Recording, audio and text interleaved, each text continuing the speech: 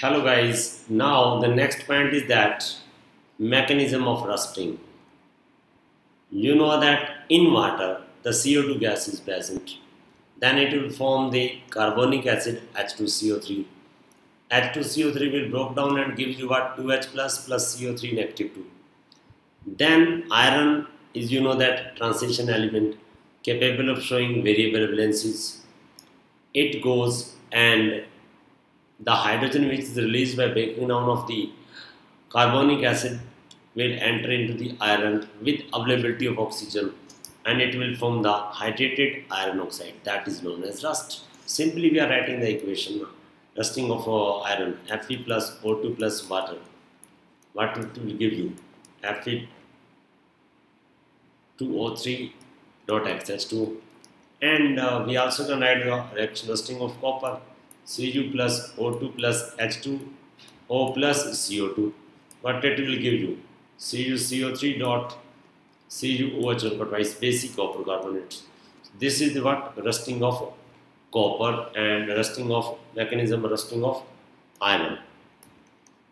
And in the if we will discuss the electrolytic cell, in electrolytic cell that reaction is taking place in the water Yes, my dear student, electrolytic cell. This is the cells which uh, electrochemical cell using of chemicals to convert electrical. This is electrical into chemical. Mechanism of aqueous NaCl. This you have done in the 10th standard also. NaCl broke down giving you Na plus plus Cl negative. At anode, electron will be released and can coming into the 2Cl dot so this is primary change Cl react with another Cl. Dot Cl react with another dot Cl gives you Cl2 and at cathode cathode will give the electron and coming into the sodium metal primary change. Now at cathode is that Na plus the new thing which are introducing here it gives you Na and its E naught value is minus 2.71 but here my dear student now in plus 2 you have to compare in aqueous solution. What is that? Mechanism of NaCl in aqueous solution. Our topic is that actually electrolysis of aqueous sodium chloride. Electrolysis of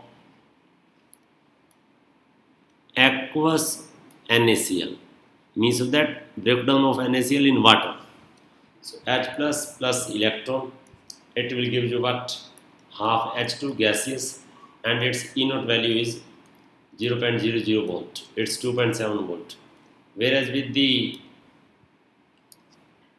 at uh, anode then you see that chlorine will release the electron and coming into the Cl2 dot Cl form and dot Cl react with another dot Cl and it will giving you finally half Cl2 and its E naught value is what? 1.36 volt. And two hydroxide ions release and they will convert coming into the H2O with plus half O2 with two electrons and uh, hydrogen E naught. This OH oxygen E naught value is coming is what that is the 1.23 here I would like to share you the trick. Now is saying that writing of these reactions at cathode and anode what is the meaning of this one? Here I will give you one formula. Earlier I has given you lone. Now this is chal. Means of that at cathode that species will deposit whose E naught value is high. And at anode that value that species will deposit whose E naught value is low by concerning these principle at uh, cathode you are watching sodium will deposit. No hydrogen will deposit because it's zero and that is minus. But according to this anode that is deposited is low. At low if we are watching so oxygen will be deposited because its E naught value is less. But thus this is the point which I would like to share you. This oxygen will not deposited due to the bubble voltage. That's what I would like to tell you. Now the overall reaction, sodium chloride is broken down in the water, Na plus plus Cl minus what we are getting.